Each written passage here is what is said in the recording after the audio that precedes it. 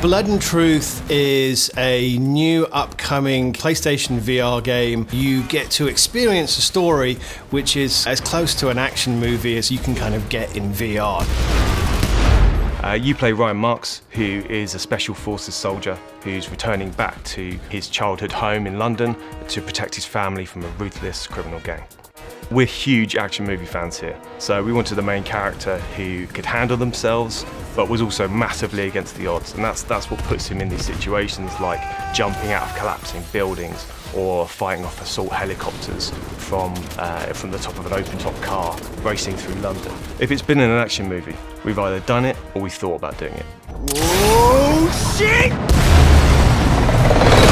The London Heist uh, which was obviously a part of PlayStation VR Worlds, was very much kind of almost like a proof of concept for uh, Blood and Truth. I think you know if if the London Heist was kind of like our love letter to Guy Ritchie and the Guy Ritchie kind of movies, Blood and Truth is much more our love letter to action movies.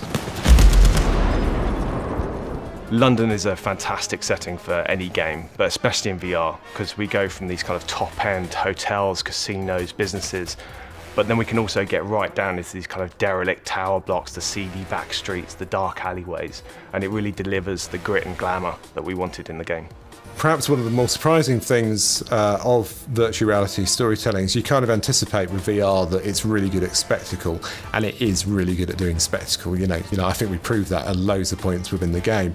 But what's perhaps more surprising, was more surprising for me as a, as a writer, was that actually VR is really good at doing intimate stuff as well. When you are kind of like crouched behind some cover, taking pot shots, reloading, physicality you have there is something that just no other video game gives you. And because of that, it just it just immerses you in a way that makes you feel like an action hero uh, in a way like nothing ever has before. I, I think that's what I love about it the most is um, you're not just watching it on the screen, you're actually there in the center of the action. Everything's going on around you, and that's what's so powerful about VR.